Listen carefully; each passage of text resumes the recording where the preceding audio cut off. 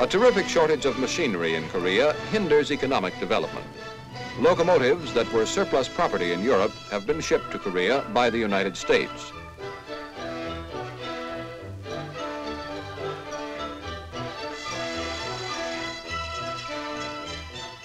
During the war, machinery was taken from Korea to Japan, and what remained has badly deteriorated. This is the first of 100 locomotives presented to the Korean government by the United States.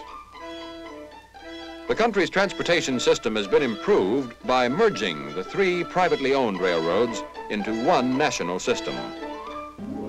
Although Korea lacks machine tools, it is producing whatever it can. This locomotive is the first turned out in Korea's shops. Koreans were rightfully proud of this feat. For the first time, they had acted in a supervisory capacity in heavy industry, a role formerly filled exclusively by the Japanese. Besides rebuilding and reorganizing the railroad system, Korea is giving attention to another channel of transportation, its roads. Part of a large public works program is the building of a 320-mile all-weather highway crossing from the north to the south of the American zone.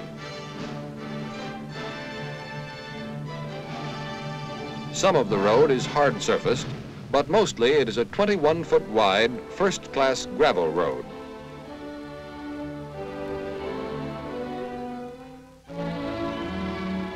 Although most of Korea's hydroelectric power is located in the northern zone, what little power exists in southern Korea is being utilized to the fullest. Power development is necessary to reduce the dependency upon the North and to make South Korea as self-sufficient as possible.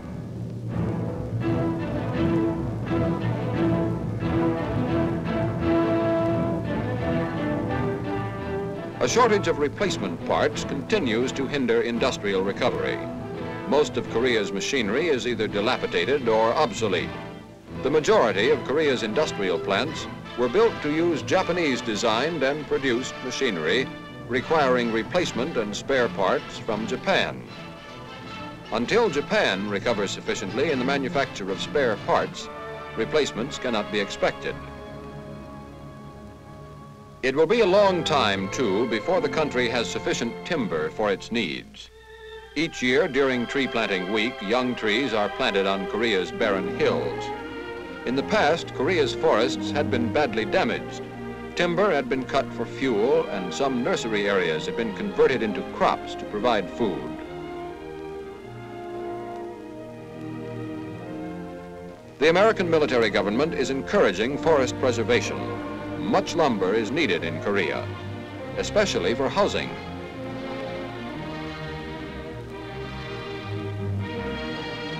Prefabricated houses at low cost have been planned under the American administration.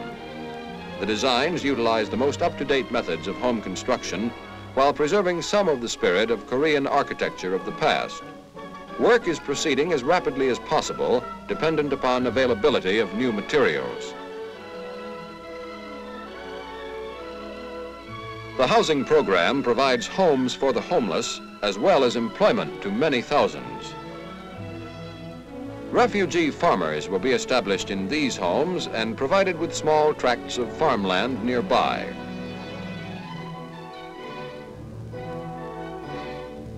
The first of these new projects has gone up on a former Jap airfield near the capital city of Seoul.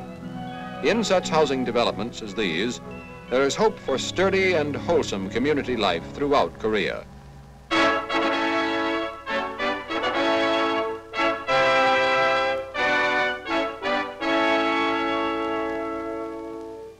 In the summer of 1946, cholera brought by refugees from China broke out in the port city of Pusan. Korean workers, supervised by Americans, sprayed the areas with DDT. The disease was soon brought under control. Medical authorities are stressing prevention as the best method of maintaining public health. In all American occupied areas, inoculations against typhoid have become standard procedure. An ounce of prevention can be exceedingly painful.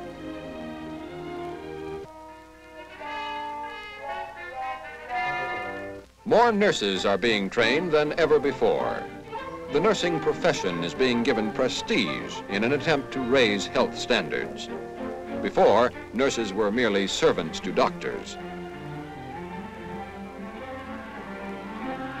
New concepts in the care of patients are being introduced. Modern health methods have reached Korea in previous years through American missionaries who were very active in Korean life. Now, during the American occupation, the smallest and the largest clinics are brought into close contact with the very latest in medical procedure. Babies are getting very special care.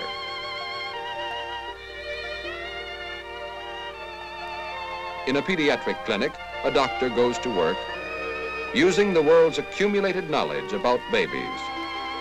However, the profound thoughts a baby thinks at this age the world may never know. The military government is helping in the retraining of a Korean police force along Western lines. When the Japanese police had been removed, and with them the much-hated thought control section, replacements were needed quickly. Training for police work goes on at a new National Police Academy.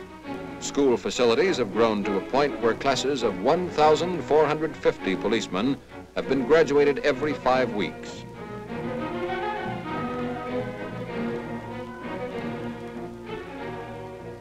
American authorities have helped the National Police in setting up their first police laboratory. Crime detection is now aided by the microscope, the X-ray, and other methods of modern science.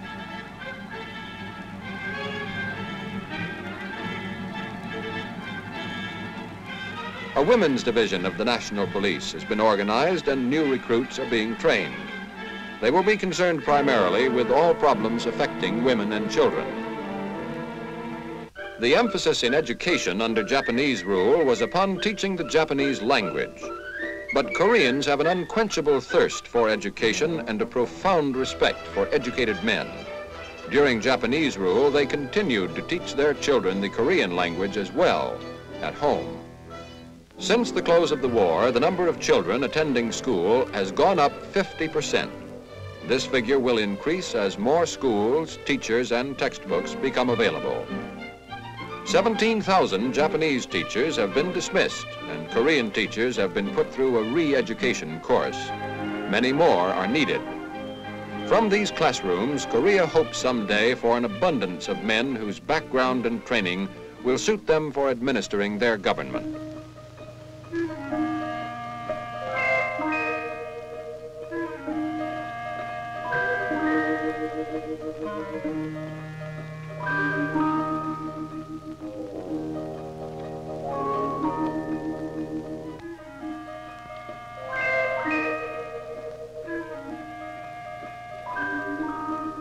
Korean children are among the most fun-loving in the world. This is a trick that many Korean children study and master.